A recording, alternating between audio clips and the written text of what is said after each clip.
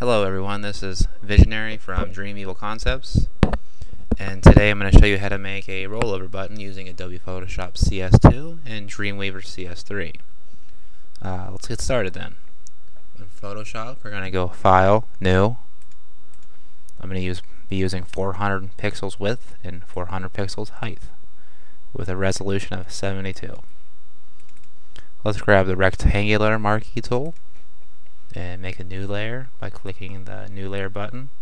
Be the second button from the right in the layers option window. Or you can click control shift new. Now let's drag our button out. You want to just click in the canvas and press the left mouse button down and drag. Now I'm going to be doing a button with rounded corners on top and flat uh, bottom.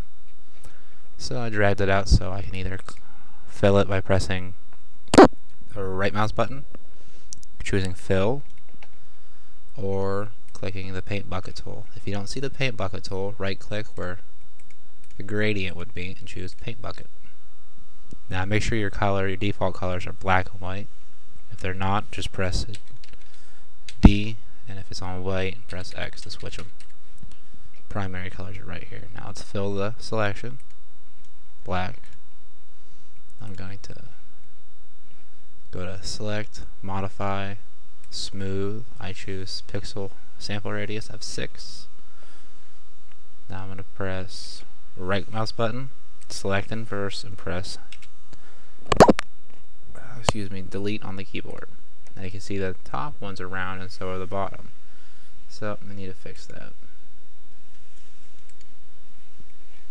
Grab the marquee tool again on the same layer of the button drag just a little bit bigger than the box and cut off like this and then press delete to cut off the bottom.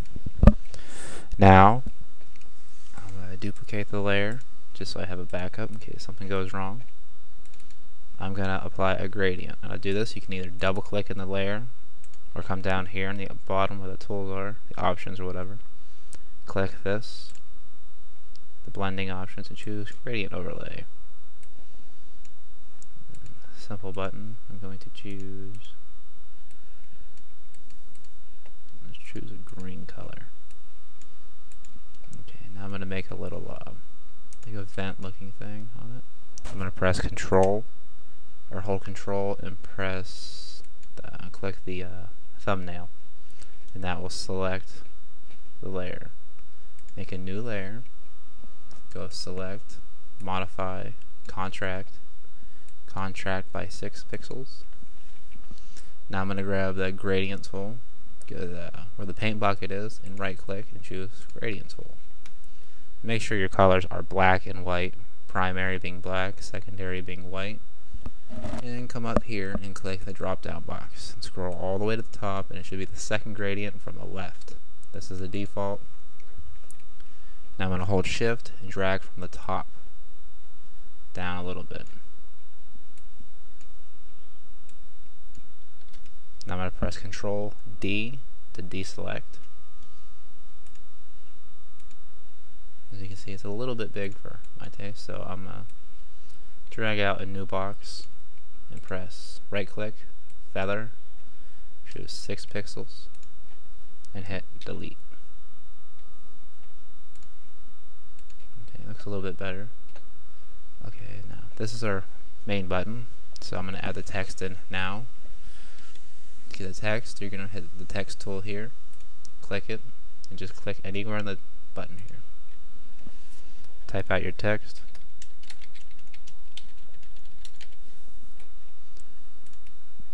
Now, to get this window here, I prefer using this for the text. You're going to go Window, Character. I have it set to Shift F8.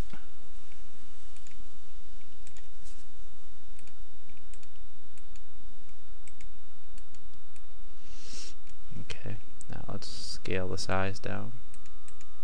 You can, if you're in this window, you just choose here. Go down. If you're not, you select the text tool, double click in the text, and choose here. 36 is good. Okay, next.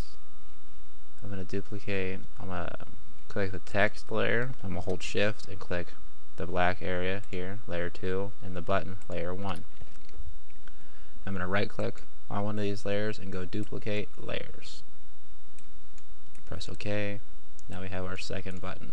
Let's choose a different background. Go to gradient overlay.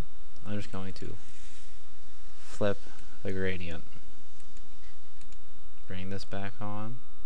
This little eye brings layers invisible or visible. And change the text to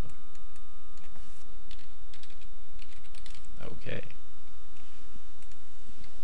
Now let's save the buttons. This is our first button, so first I need to make the canvas a little bit smaller. I'm going to grab the crop tool, which is right here. Only tool there, and whatever you watch, like this. Click the left mouse button and drag where you want. And then if you don't have all what you want selected the first try, you can just modify it with these little points here. Just move the mouse over it and drag over. So that's good. I want to click a little check mark. Then go to File, Save As. Let's go. New folder on the desktop. Test, open. I'll make an images folder since we're going to be using a website. And type it as button photo. The format as PNG because we want the background to be. When doing this, we want the background transparent, so make sure you turn the background layer off. Go to File, Save As, Images. I'm going to save it as button, and the format as a PNG. Now let's the second button, the rollover button layers out. Go to File, Save As, and save this as rollover format PNG again. Okay, now we're done with using Photoshop. So let's get Dreamweaver open. That was previous test to make this, which I messed up on. The audio. Go File, New. Excuse me. Gonna do blank page, HTML, page type, layout, none. Press create. Make the background darker, darker to make it easier to see. Now we'll come to our common tab. This is usually set at images. You want to click the little down arrow right here and go to rollover. We're going to name this button 1. Let's go to our original images. Come to the folder we saved them in. Choose button, that's the regular button, and rollover for a rollover. Duh. And alternate text, just pick button 1. And you can either type the URL in or click browse and choose a file or whatever. So I'm going to just type one in now.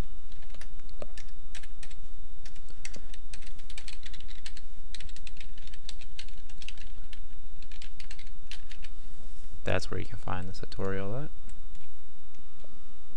And as you can see it here, you want to go File, Save As. You would normally save it as an index page, but seeing how this is the only thing on it, I will.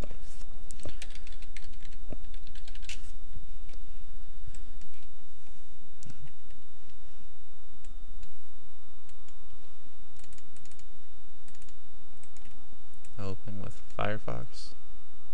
There's the normal button, rollover. And I hope this helped you learn something new today. You can find this tutorial at uh, dreamevilconcepts.com. Thanks for listening.